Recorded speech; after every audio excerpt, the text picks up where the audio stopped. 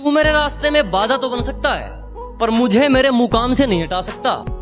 कि तू मेरे रास्ते में बाधा तो बन सकता है, पर मुझे मेरे मुकाम से नहीं हटा सकता। और उसने जो मुझे लिख दिया तो लिख दिया, और उसका लिखा, तेरा बाप भी नहीं मिटा सकता।